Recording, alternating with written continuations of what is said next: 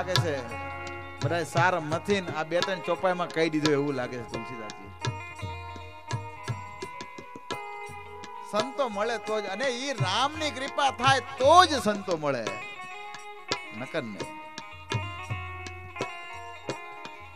આપણે સમજવું કે આ ત્રણ દિવસથી આપણે આવી છે ને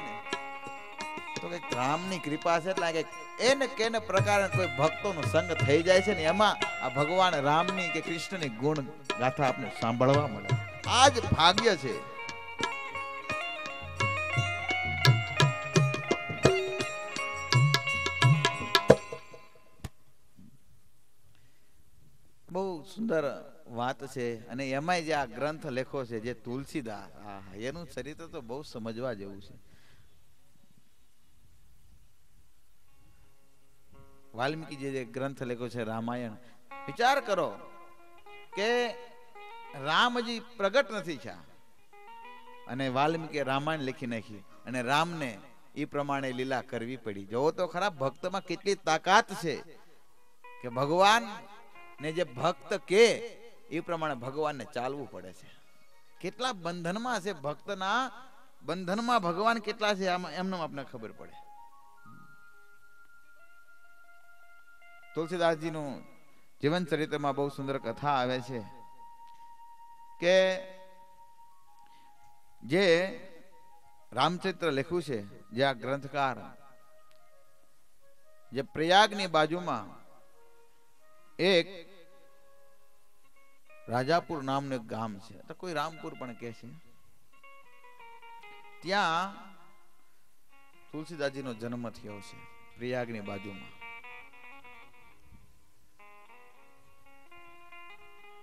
જન્મતા વેત એનો શરીર એવું હતું કે એક પાંચ વર્ષનો બાળક હોય ને એવડું મોટું શરીર હતું.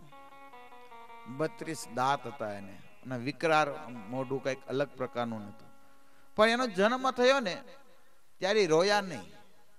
આજે સંસારમાં જે વ્યક્તિ જન્મ લે એટલે એ રોવે. પણ તુલસીદાસ રોવા નહીં. એ શું બોલ્યા? રામ શબ્દ બોલ્યા. જન્મ થયો એટલે એ શું બોલ્યા? રામ શબ્દ બોલ્યા. આગળ જતા બધા એનું નામ પડ્યું રામ બોલા. જન્મથી રામ બોલા એટલે નામ પડ્યું રામ બોલા. પણ હવે એની માતાને ભય હતો. જ્યોતિષી કરીએ છે કોઈ કે આ બાળક અહીંયા રહેશે તો અનિષ્ટ બધું થઈ જશે. તો એની એક દાસી હતી. દાસીને કીધું કે આ બાળકને તું હાચઈને મોટો કર. અને થોડા દિવસોમાં જ એ તુલસીદાસની જે માતા હતી, હુલસી નામ એનું હતું એનો પરગો ભગવાન ધામની અંદર વાસ થયો. દાસી એને સાચવતી હતી અને પાંચ વર્ષ એને મોટા કર્યા, પણ દાસીનું મૃત્યુ થયું. પાંચ વર્ષના બાળક તુલસીદાસ એમનો ફરે છે કઈ નક્કી નથી ખાવા પીવાનું શું છે. પણ ભગવાન શિવજી કૃપા કરે ને. કારણ કે ભક્ત, એને ખબર છે કે આ કોઈ સાધારણ નથી. આજે મારી મનની વાત જાણી ગયા છે ને એ લખવાના સાગર પાર્વતીજી દરરોજ આવે, રસોઈ બનાવે અને આ રામ બોલાને ખવડાવે. હવે સ્વયં અન્નપૂર્ણા જેને ખવડાવતી હોય, હવે એને જે અન્ન એના કોઠામાં ગયું હોય, હવે એનો કોઠો કેવો હાજો હોય આપણી ભાષામાં. એ કોઠા હુજ વાળો હોય. અન્નપૂર્ણા જે જેને ખવડાવે અન્ન. એટલે હું ઘણી વાર અમે કેવી છીએ, ભક્તો, ભગવાનને ભોગ લગાડીને તમે અન્ન ખાવ ને તો કોઠા હુઈ આવે. નકર હોય નહીં, વહી જાહે. કારણ કે પાપનું ઉદર થઈ જાહે. આ પેટથી પાપનું ભરાઈ જશે. અને તુલસીદાસજી મોટા થયા છે. અને ત્યારે કાશીની અંદર એ કાશીશ્વર શિવજીએ નાયક નર હદ્યાનંદ નામના જે ભક્ત હતા, એને પ્રેરણા કરી છે કે તમે આ રામ બોલાને ક્યાંકથી ગોતી આવો આ શિવજી જેને જે કહેતા હોય સપનામાં આવીને તમારે આને મોટો કરવાનો છે, પછી તો ક્યાં વાત રહી? અને એ હદ્યાનંદજીએ ગોતા રામ બોલાને. ઘણા વર્ષો એ કાશીમાં ગયા. એક દિવસ એ કાશીની અંદર એક ભૂત તુલસીદાસને મળ્યું. તુલસીદાસના વિચારો બહુ પવિત્ર છે. કારણ કે આપણે ક્યાં બધું જવા દેવું નથી કેવું. ગામડામાં પેલા છે ને બાથરૂમ ઘરે નહોતા. ખબર પડે ને ખુલ્લું વાતાવરણ. તો જ્યારે તુલસીદાસ બાથરૂમ જતા ને, તો લોટો લેતા જતા. એમાં પાણી થોડુંક વધે ને એક ઝાડને. એ કથા છે. અને એ ભૂત રહેતું હતું. પણ એ ભૂતને પાણી મળતું હતું દરરોજ. પણ એ પ્રસન્ન થઈ ગયું કે એક દિવસ ભૂતે કીધું કે છે ને, હું તમને હનુમાનજીના દર્શન કરાવું. હનુમાનજીને ભૂતને મળે, આપણે કંઈક એકલા જાતા હોય વનમાન કંઈક, તો આપણે શું કઈ ભૂત નિકટ ના એ હનુમાનજીને યાદ કરતા હોય. પણ અહીંયા હનુમાનજીને ભૂતે કીધું કે તમને હનુમાનજીના દર્શન કરો કાંઈ વાંધો નહીં. તુલસીદાસજીને હારે ગયા, હનુમાનજીના દર્શન થયા છે. અને હનુમાનજીએ કીધું છે કે તમે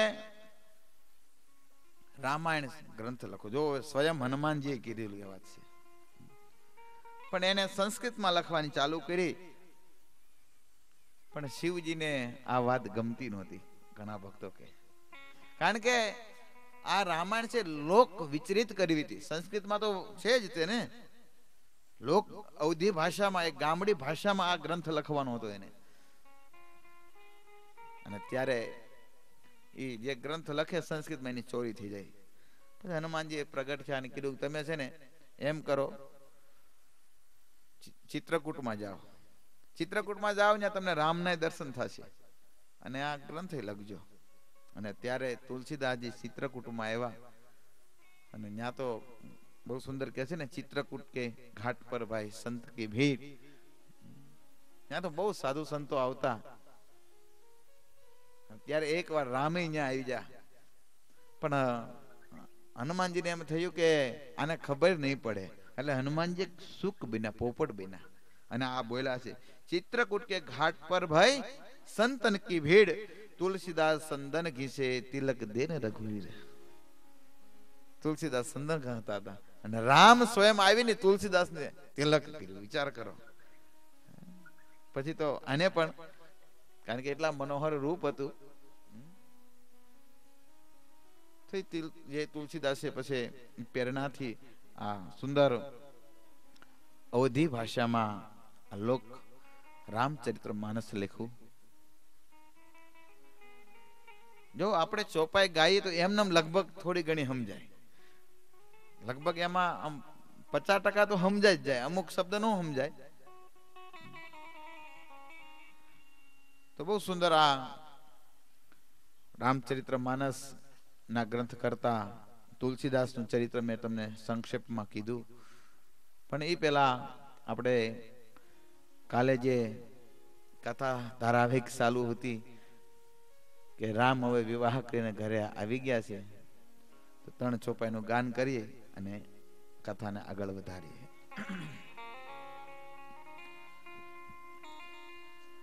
જબ તે રામો બ્યાહી ઘર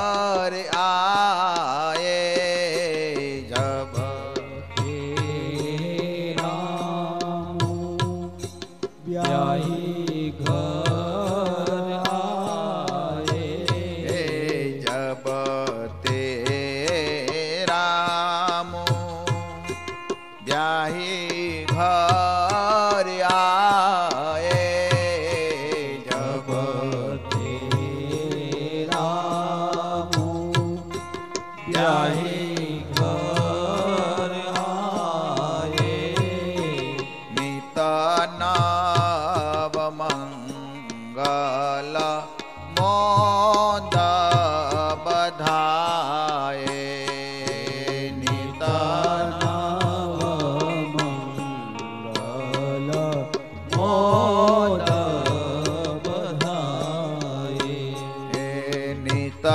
ના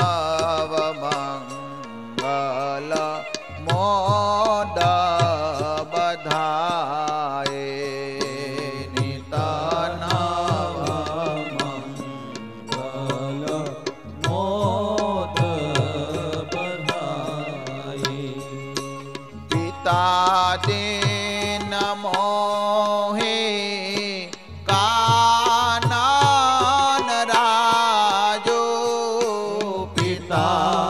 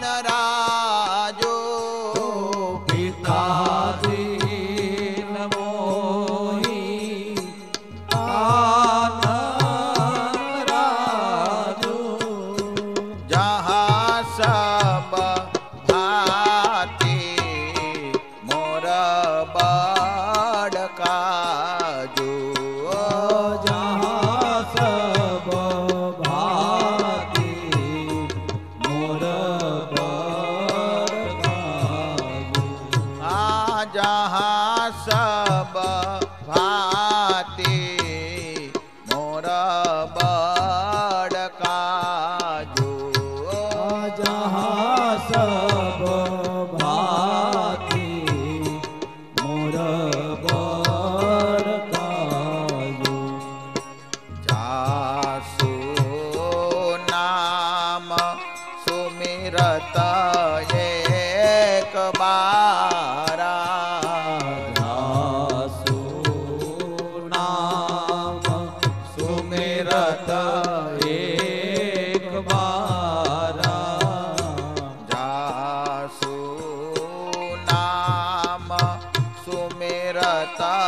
ਏਕ ਬਾਰ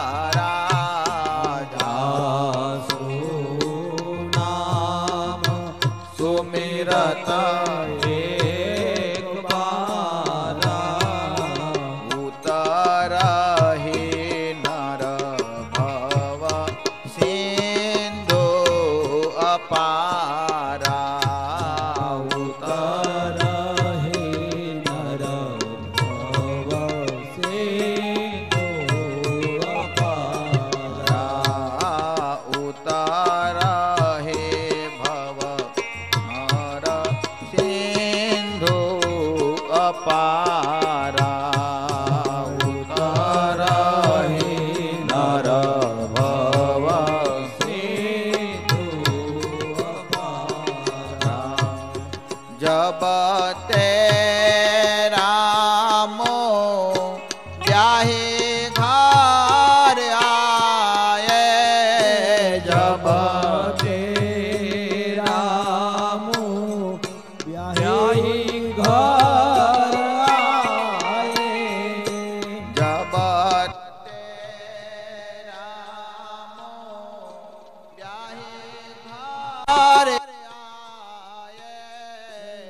ते राम ब्याहे घर